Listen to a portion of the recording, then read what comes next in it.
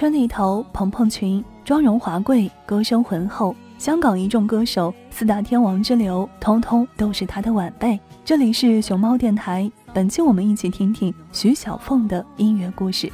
不相信未作牺牲，竟先可拥有。只相信是靠双手找到我欲求。每一串汗水，换每一个成就，从来。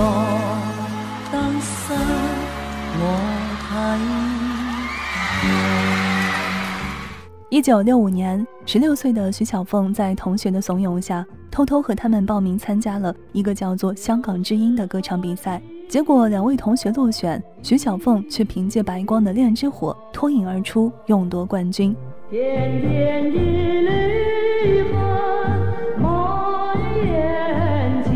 秋，只言语，是岁酒，随云飘荡不知流。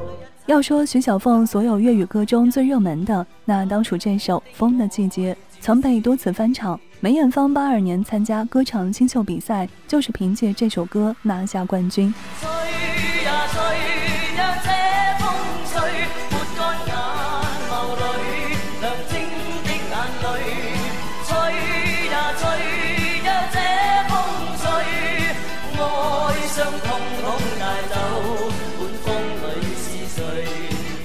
一九八九年的春晚。他以一首《明月千里寄相思》和《心恋》惊艳九州，仿佛天鹅绒一般华贵的声线，醇厚深情，听后仿佛误入桃花源，令人沉醉不已。但那年的春晚，徐小凤并未亲临现场，她是迄今为止唯一一个没到现场的春晚演员。央视春晚只为她一人如此破例，足以说明徐小凤的分量。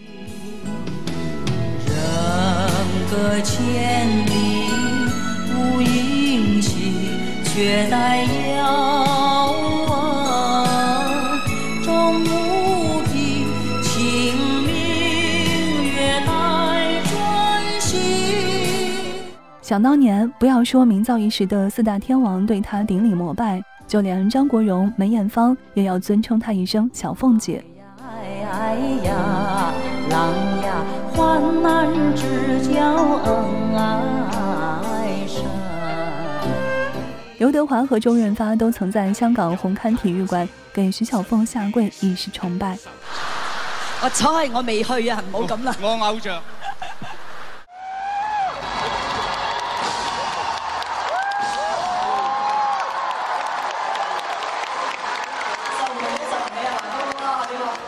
一九九二年，担任亚洲小姐竞选决赛的表演嘉宾。和邓丽君同台演唱歌曲《戏凤》，嗓音醉人雍容，动人纯美，堪称是女中音界永恒的辉煌。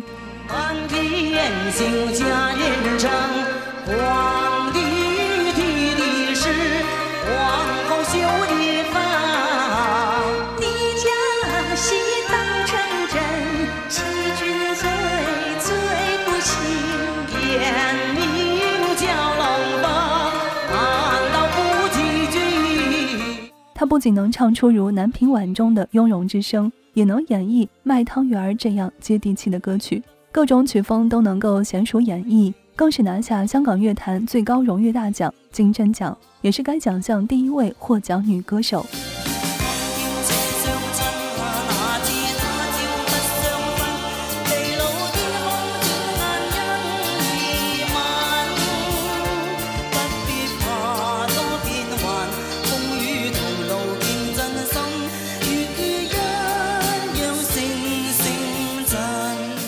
这里是熊猫电台，感谢你选择与我一起虚度时光。如果有缘，我们下次再会。